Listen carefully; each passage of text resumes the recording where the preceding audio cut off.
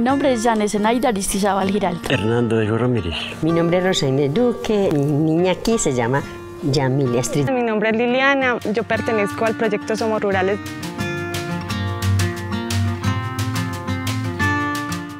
Pues yo trabajo con mi esposo, mi esposo el trabaja pues el frijol y yo las aromáticas, pues aparte pues de que cuido a la niña. Yo soy ama de casa, pues aquí en la finca trabajo pues en este momento con mi esposo, en ocasiones yo le colaboro embolsando o llevando colinos cuando ya tiene el hollado.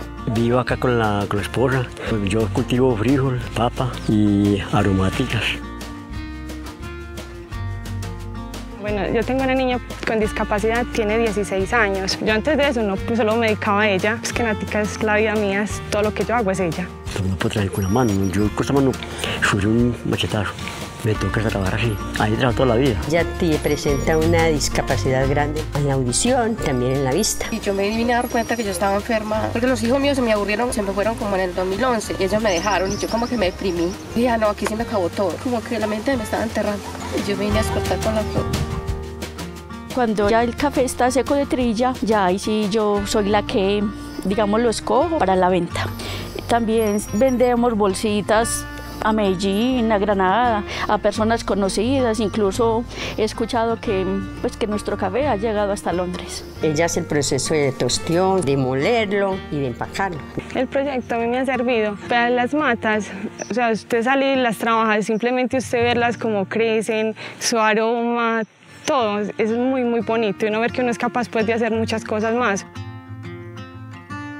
Nosotros buscamos implementar un, como una metodología con herramientas que podamos encontrar en la finca y con cosas que los productores, los participantes del programa tengan acá.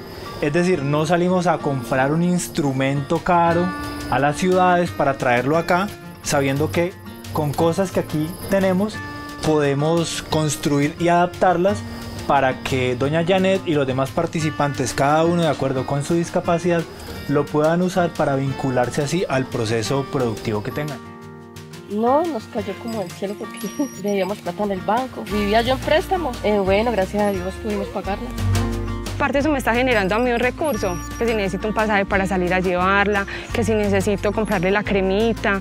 ¿Me entiendes? Son muchas cosas y muchas necesidades que uno desde la casa te puede ayudar. Las capacitaciones que nos hicieron, la participación psicosocial fue muy buena para integrarla a ella. Nos han ayudado con las semillas, con los riegos, la abonos, la asesoría técnica. Tenemos pues la niña, la fisioterapeuta, aparte pues del acompañamiento que le hacen a uno pues psicológico. No solo lo material pues que a uno le sirve demasiado, sino que aparte usted lo acompañen, le digan usted es capaz. Todo eso a uno le sirve mucho en la vida y realmente a veces uno lo necesita. Este proyecto fue uno de los que pioneros que de verdad yo decía, qué elegancia. Bueno, muchas gracias al Ministerio del Trabajo, al PNUD y a Somos Rurales por esta oportunidad que nos da de salir adelante. Y entonces para nosotros ha sido pues muy hermoso, muy, muy bonito y que qué rico que mucha más gente pueda estar en esta gran empresa que es el campo.